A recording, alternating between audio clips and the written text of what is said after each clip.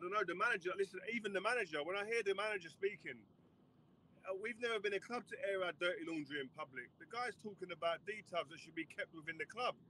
Oh, I tried to tell them to put the ball to buy this player, that player. Talk to the board. Don't talk to the public about that type of stuff. Or if you're going to talk about that, when you've left the place and you've severed ties with the club, maybe that's when you want to talk about it. Fine, I understand that. Maybe you can get a few things off your chest. You're still there working within the club, and you're airing dirty laundry out. Oh, I tried, told him to sign these three players. Oh, Diaz at Liverpool is now flying. It makes him look a bit better, and just takes the takes the the responsibility off his shoulders. Maybe I don't think it's right what he's doing. Don't speak. Yeah, you're disappointed, or things could have been dealt with differently. Speak about that and iron that out at the club, and then when you've gone, then you can say you say your piece, maybe. Uh, look, I, I really want to do this reaction video based on those comments there from Rio Ferdinand over on his channel five. The, the link to the full video is in the description. But Rio Ferdinand there massively disagreeing with Ralf Rangnick's approach to call out Manchester United's board and Manchester United's owners, the Glazers, effectively, they are the board, in public. He will prefer it to be kept behind closed doors. Let's let's get straight into it. Let's not mess about here because right now that's all United are doing is messing about on the pitch. But I'll be completely honest, Rio. I disagree with that sentiment entirely. I think now is the time where things like this they have to happen. Rangnick there, of course, he, he called out. He said, "Look, I told the board to sign an attacker. I named who did he name? Luis Diaz. He named um, Julian Alvarez, who of course has joined City, and, and Dusan Vlahovic, who of course has joined Fiorentina. I don't think Vlahovic was ever coming. I think Alvarez is a bit of an unknown entity. Luis Diaz, we were linked with. Uh, you know, it would have been. I've said there, look, it goes without saying that if we had a bit of foresight with Ten Hag coming in, we could have made that signing in January. And you've seen by uh, Kulusevski at, at Spurs, and you've seen by Diaz at Liverpool the impact that, that the right January signing can have on your club. Hell, we we saw it with Bruno Fernandes a couple of years ago. But Rio Ferdinand there is basically, in my opinion, I think he's focusing on the on the nostalgic things that United used to do so so well. Our doors used to be watertight at Manchester United when Rio was there. When Rio was part of that team, he's seen United working flawlessly. And he's basing that and drawing that on his own experiences of what has worked at United before. And therefore, by logic, and it's fair enough, what should work now. But the fact of the matter is, is that the context and circumstances are so different at the club now that the idea that Ralf Rangnick can keep it all behind closed doors and it can work and, and bring change, I don't think it's possible. And I think we have to remember here, if we rewind to December, this was after Ralf Rangnick's second game in charge. I want to play a little clip here because I think there's something that has to be said. You've mentioned that a couple of times, body language. What was wrong with the body language? Yes, of course. Some of our players are technical players, and uh, today there was not so much space for technical solutions. And then you need to, yeah, to need you need to be physically brave and, and more and, and, and compete on that kind of level uh, with regard to physicality. And this uh, this was uh, something that we didn't do on all positions. So, now the reason I'm putting that clip up there is because that's what his second game in charge after about a week of being Manchester United's manager. Ralf Rangnick at the start of his United tenure was gentle in his approach. His approach to the media was not the approach we're seeing now. And what we what we're seeing now is the consequence of 5 to 6 months of effectively being ignored, ignored. Of effectively his, his his gentler approach, simply not bringing the sort of changes at Manchester United that were needed.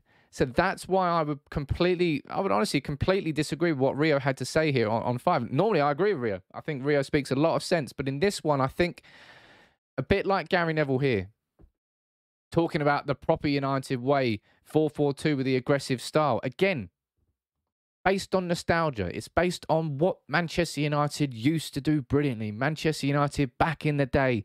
And they kind of sound like grumpy old men speaking about how things were better back in my day.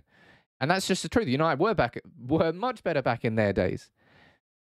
But we need it aired in public. We need this from Ralf Rangnick. We need Ralf Rangnick to be the sort of, I suppose, the fall guy for United fans. He, he speaks more like a fan than he does like a manager. And judging by his performances as manager, I can see, uh, well, maybe we'd be equally as effective with these players. Maybe we wouldn't be. But I just don't personally feel that it would help Manchester United as a football club move forward have we just been keeping this behind the scenes? I think Ralf has tried that. Ralf has tried that tried that so much behind closed doors. And if he's getting ignored and he's getting pelted in public, you could argue that this is um, a self-preservation mode. That's what Rio says there. He goes, look, he's just doing this not solely, but to make himself look better, to sort of shift responsibility away from him towards the, the, the owners and the board. But Rio, that's what has to be done. That's the sort of spotlight that we do need. And that's why Jose Mourinho was right when he did it back in the day. But at that point in time, United were unwilling to change. Right during the Woodward era, that was never going to change. Uh, and it went down in a.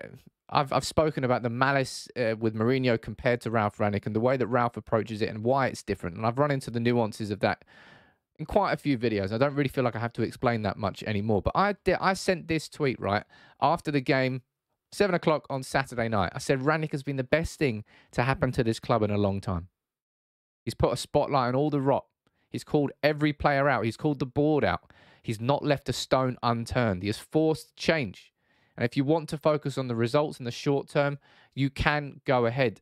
And I absolutely stand by every single word I said in that comment there. And that's why I personally have to disagree with what Rio Ferdinand is saying here in saying, look, just keep it all behind closed doors. It's like Rio, man, like it hasn't worked. It hasn't changed. And I don't, uh, for the, obviously, I can't prove this. And this is just an assumption. This is just based on a gut instinct.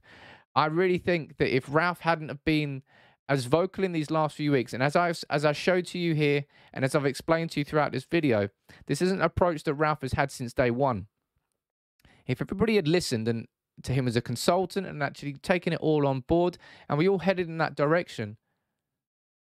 I doubt very much we will we will be seeing a Ralf Rangnick chain the, the Ralf Rangnick that we're seeing now, the Ralf Rangnick that is coming out and saying things like this, the Ralf Rangnick that is calling out the board because they haven't listened to him. If you're supposed to bring in a consultant, what are you supposed to do? Listen to him, and it and it does fill me with fear about what's coming next. But I just personally feel that if Rangnick hadn't have had this approach and this change of approach in recent weeks, I think we will be worse off because of it. Now, as I said, you can really focus, and that's something I was really, I feel really strongly about. I feel like I'm still going to get into arguments about it across the course of the summer with plenty of United fans, and no doubt we'll speak about it on the podcast, which is being recorded later today. But I can overlook these short term deficiencies with the football because I think Ralf Rangnick truly, at his heart, probably wants what more what Manchester United fans do than any other manager before him. Maybe not with maybe maybe Sol, man, that's wrong with Solskjaer, but Solskjaer didn't have the ability to bring the change we needed either. Mourinho didn't, even if, as I said, he's coming from a different perspective. And Van Gaal was the first manager, to, well, post Moyes, to try and deal with what was going on. We've been an absolute clusterfuck as a football club, and I don't think that being polite and keeping things behind closed doors and dealing things how a football club should be dealing with it. Rio is not wrong in what he's saying. It should be kept behind closed doors. It absolutely should. And Manchester United, as a professional football club, should be doing that. We're incapable of doing that. There's so much rot behind the scenes, behind the doors, that keeping it there suits them. Bringing it to the public eye doesn't suit them. The spotlight becomes more and more intense. And that's why I personally think that everything he's doing at the moment, I stand by it. And there was also a second little clip, a second little comment from Rio Ferdinand, which for me stood out from that latest episode of Five, which, by the way, the link is in the description. So make sure you go and watch it all. Good to hear what Rio has to say. You're not, I see fans shouting, you're not fit to wear the shirt. Imagine being in that change room and a man shouting, you're not fit to wear the shirt. What your pride will be saying right now. Mad. Rio Ferdinand under, Rio Ferdinand has a a far far bigger sense of pride than so many of these Manchester United fans.